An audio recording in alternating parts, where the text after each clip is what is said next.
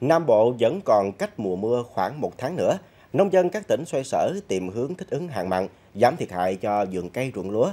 Tại tỉnh Hậu Giang, huyện Long Mỹ và thành phố Vị Thanh là hai nơi chịu ảnh hưởng nặng nhất của nước mặn xâm nhập từ triều biển Tây qua hệ thống sông cái lớn.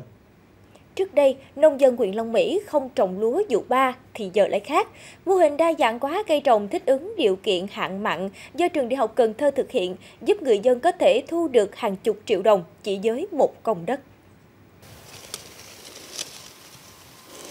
Thưa quý khán giả, đây là một trong bốn loại cây trồng có khả năng thích ứng tốt với điều kiện hạn và mặn, được à, trường Đại học Cần Thơ à, triển khai thí điểm tại xã Vĩnh Diễn A, huyện Long Mỹ, tỉnh Hậu Giang.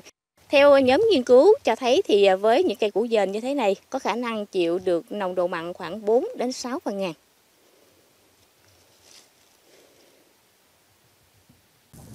Đây là lần đầu ông Tiêu Văn Vũ trồng thử nghiệm củ dền trên nền đất lúa. Được cán bộ trường nông nghiệp, trường Đại học Cần Thơ hướng dẫn kỹ thuật, ông Vũ thu lại hơn 2 tấn củ trong 800 mét vuông. Giá bán tại rẫy hơn 10.000 đồng một ký. Sau khi trừ chi phí, ông lời gần 20 triệu đồng một công.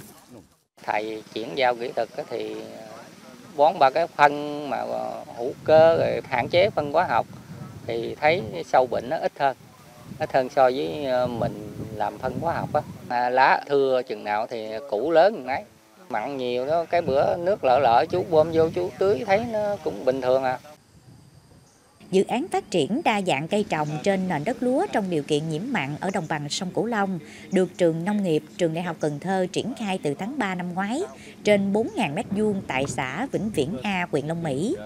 Thí điểm trên cây thích ứng hạn mặn nên bốn loại cây màu được lựa chọn thí điểm gồm củ dền, bắp, dưa hấu và đậu đũa.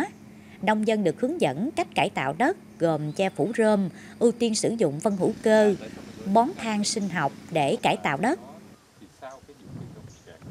Trước khi triển khai ở Long Mỹ của Hậu Giang thì chúng tôi cũng đã thử nghiệm đối tượng cây trồng này ở Sóc Trăng thì cái điều kiện là khắc nghiệt hơn, à, độ mặn cao hơn, lượng nước tưới nó sẽ à, không có đầy đủ như là ở Hậu Giang thì thấy là củ dền là phát triển rất là tốt. Trong điều kiện hạn mặn hiện nay, việc triển khai các loại cây trồng có khả năng siêu thích ứng với biến đổi khí hậu sẽ giúp nhà nông đa dạng cơ cấu mùa vụ. Từ đây góp phần tăng thu nhập, cải tạo đất cho vụ lúa sau.